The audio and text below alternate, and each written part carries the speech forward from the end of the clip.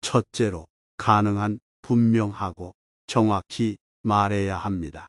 분명하고 정확하게 말하면 맺고 그놈이 분명하고 사람이 철저하다는 인상을 줍니다. 나의 선이 명확하면 일단 상대방도 경계합니다. 쉽게 보이지 않기 때문입니다. 일과 관련해서는 자기 일 업무를 잘 파악하고 분명하고 정확하게 말하는 연습을 해야 합니다. 우리는 그 사람이 가지고 있는 성향과 특성, 현재에 생각해야 되는 일들과 다가올 문제까지 전체를 아울러 파악하고 있는 것을 훤히 깨뚫고 있다. 라고 표현합니다. 무엇인가를 깨뚫고 있는 사람, 깊게 아는 사람은 당연히 무시하기 힘듭니다. 대화를 할 때 필요한 말을 정리하여 천천히 말하는 사람은 내공이 있어 보입니다. 정리하여 말할 줄 아는 사람은 생각의 깊이가 깊다는 말입니다. 필요 없는 말을 중구난방으로 늘어놓는 사람보다 훨씬 더 있어 보입니다. 내 의견과 주관을 잘 말하는 사람은 분명하고 정확하게 말하는 사람입니다. 여기에 상대방을 배려하고 자신의 의견도 덧붙일 줄 아는 사람은 능력이 있는 사람입니다. 주위 사람으로부터 인정받고 존경받게 됩니다. 내 의견과 주관을 잘 말하는 사람은 분명하고 정확하게 말하는 사람입니다.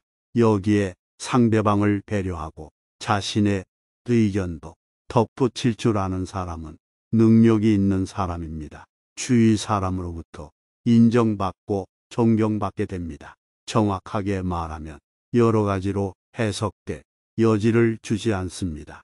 그래서 발생하는 오해도 적습니다.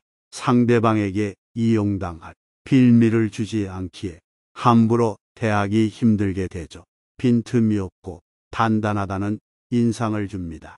단단함의 이면에는 확신과 능력이 있다는 의미가 있어 상대방이 쉽게 보고 덤벼들지 않습니다.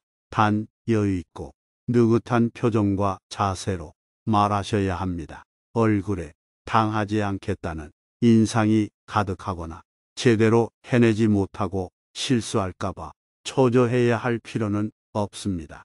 어색하거나 익숙하지 않을 땐 그것이 말과 행동에 나타납니다. 숨기기 어렵더라도 계속 반복하면 여유와 힘이 생깁니다. 처음엔 누구나 실수합니다. 나이에 상관없이 몸에 익지 않으면 언제든 실수할 수 있습니다. 너무 개의치 마십시오. 처음에는 잘 되지 않고 어렵더라도 분명하고 정확하게 말하는 것이 이익입니다. 계속 자신의 행동을 일관성 있게 유지하면 무시당하지 않습니다. 무시받는 것은 자신의 말과 행동에 확신이 없을 때 일어납니다. 단단함이 아니라 약한 것을 꾸민 것으로 드러나게 되면 악한 사람은 그 약함을 파고듭니다. 자신의 행동을 유지 못하는 이유는 마음이 약해서일 수도 있고 상대방이 계속 요구해서 일 수도 있고 미안한 감정이 들거나 동정심 때문에 거절한다는 죄책감 때문에 그럴 수 있습니다. 하지만 상황을 객관적으로 보지 않고 개인의 감정으로 해석하기 때문에 이런 일이 벌어집니다.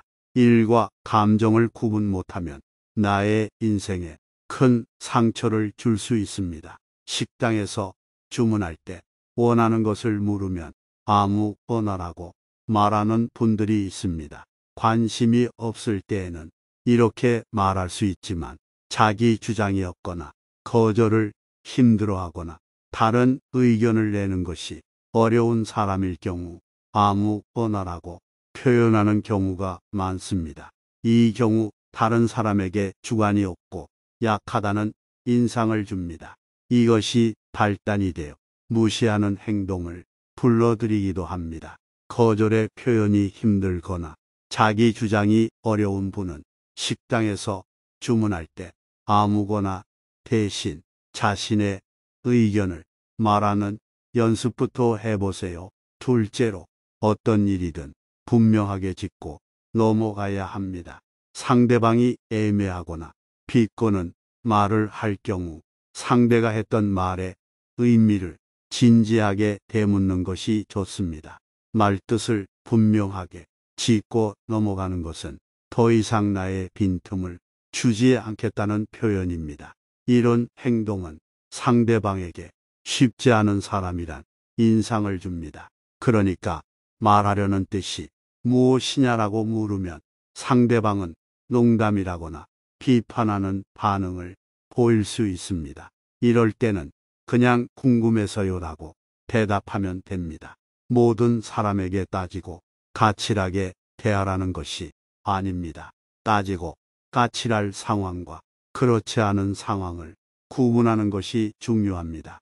상대방의 감정에 내 말투와 행동이 어떤 영향을 주는지 이해하는 것이 필요합니다. 공과 사를 구분하고 원칙에 따라 행동할 경우에는 이해되는 부분이지만 상대방의 감정을 고려하지 않은 채 매사를 따지고 까칠하다면 세상을 살아가는데 어려움이 발생할 수밖에 없습니다.